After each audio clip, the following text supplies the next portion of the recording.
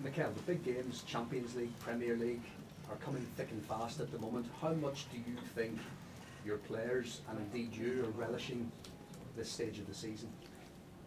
Really enjoying the moment. This is where we want to be. Uh, we're in a really good position in the Premier League, and uh, we're in a really good position in the Champions League. Uh, we have a big task ahead of us against one of the, the most successful teams in Europe, clubs in Europe, and that's the hurdle that we have to overcome, and, uh, and we are really looking forward to it. I think Bayern's sporting director has said Arsenal are the favourites for this game, but how would you assess Bayern's threat given their poor league form in the season they've had? Top team. Um, I'm a big fan, big admirer of Thomas. Um, his teams, the way they set up, the way they play, what they transmit. I have learned a lot about him. And looking at Bayern, and when you analyze him deeply, you see why they are a top team. So we have prepared very well. Um, and we have to take our game uh, and take our game where we want it. And if we do that, we'll have a chance to win. The draw has thrown up Harry Kane's return to North London. Yeah. How do you stop him? Uh, it's not only him. I think it's the team function, uh, the individuals that they have, uh, and obviously we know the individual qualities of all those players and, and him in particular and the ability that he has. So the best thing to do is what we do collectively uh, to try to prevent certain things. Do you, do you think his record against Arsenal can be a factor in this game at all? Do you, do you need to kind of pay attention? to? Hopefully, hopefully not. What is it about him that makes him such a threat? Well, the consistency, when you look at his numbers over the last 10 years, it's unbelievable what he's done. So uh, he can score in many different ways. He's got the service, he's got the players around him as well to, to provide those opportunities. And uh, this is what we have to try to avoid. No away fans at this game you know, for the stage of the competition, quite unusual. Can it be a factor at all? Full house, full house in the house, a lot of um, passion, emotion, and uh, we haven't had this opportunity for 15 years. So that says you how a special this night is going to be for us. So we're going to have to put everything into every ball to make it happen. And just finally for me, uh, maybe a, message, uh, a question about the title race as well, because you're trying to combine that with, of course, winning the Champions League. I know Jurgen Klopp said at the weekend that if Manchester United play like they did on Sunday against Arsenal, then Arsenal will win. Did you have, do you have any thoughts on, on what he said about that? No, I can only talk about what we do. Okay. Gary? Mikel, um, looking back to Sporting and the exit then, you lost two players within 21 minutes, which was a massive shock. What have you, your team, in terms of having leaders on the pin, pitch, how much have they grown and developed? Because they stepped into a next season when they're in the Champions League, it's a level up, but you're still fighting for the title. It feels Mm. like your depth is stronger and your leadership is stronger over the pitch. Would you agree? Hopefully, we are better. We have learned um, for sure a lot of stuff over the last uh, few months. I think players have evolved. Um, we all have tried to improve and, and be better than we were a year ago. And uh, and as you said, it's been a really demanding season. Obviously, it's a huge step for us to be in this competition, and on top of that, uh, be competing in the Premier League the way we are doing. And this is the challenge, but as well, we are so excited to to be part of that. Bayern Munich, 5 1, 5 1. It's being talked about. Is it coming anywhere near your dressing room? No, it's there. That's history. When you when you look at their history in the competition, um, it's clear um, their nature and their capacity to to perform bigger stages, and uh, and we have to prove that. That's for sure. There's always been this consistent belief for your players that have come off the pitch, even when they've suffered setbacks. Has that come from the hurt of just not getting over the line last season, or has it come from the training you've been able to put in since you come?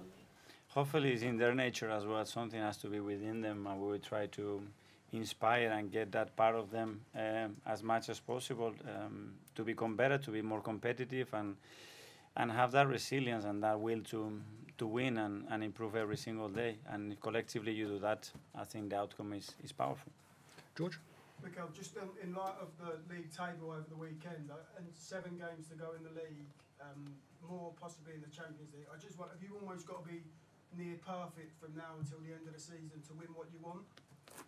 Perfect in football is difficult. You have to be better than the opponent first, and then, yeah, when you have the moments, you have to be ruthless. And um, we've been really consistent and um, and trying to be better than the opponents uh, lately, especially. And we have to carry on doing a lot of the things that we are already doing. But you must feel as a manager now that your team is they're looking pretty ruthless, aren't they, and strong.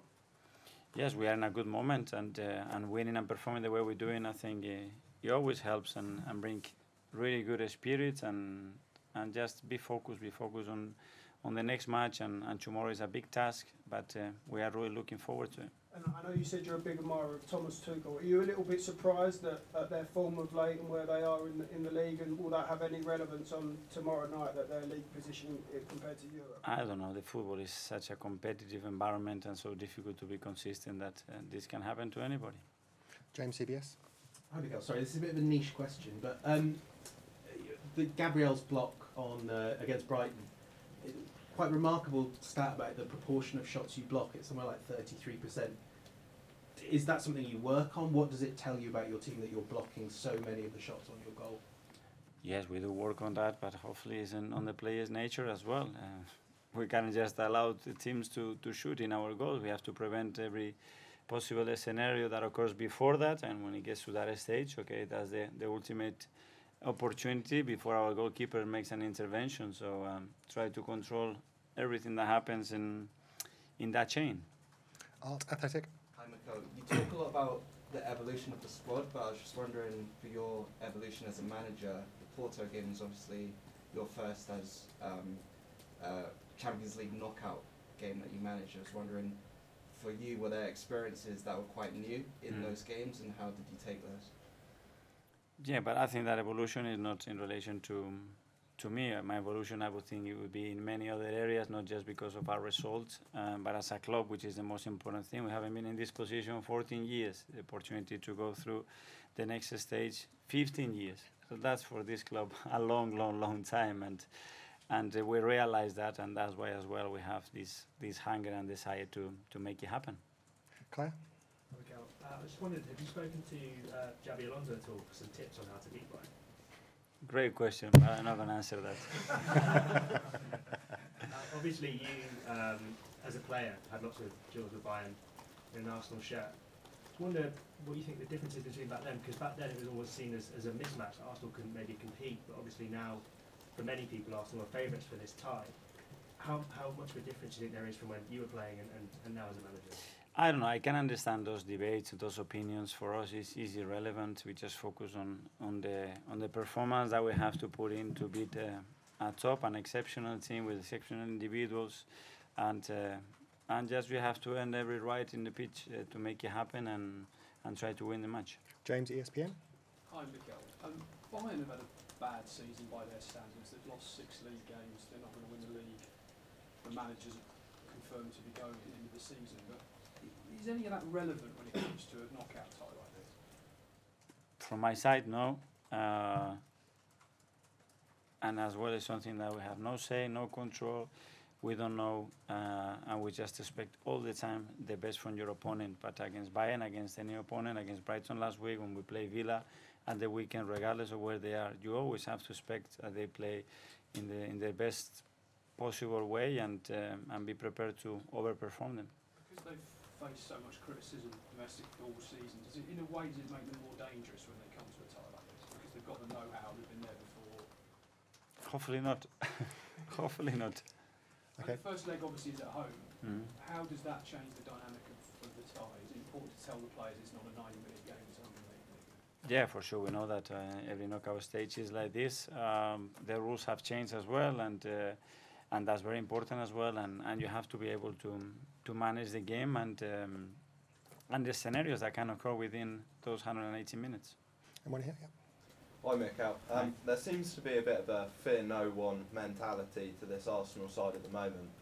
How important is it that you try and take that attitude into the game on Tuesday to really show that you do belong among Europe's elite clubs? Yeah, that's something that uh, we're looking to do in every single match because if we are able to do it in one match and then not in three, that's not part of us, and we want to to make sure that things are ingrained within the team and um, and we are consistent in delivering these type of things. And um, and I'm proud what the team is showing, the character and the mentality that they're showing, and uh, we have to carry on doing it.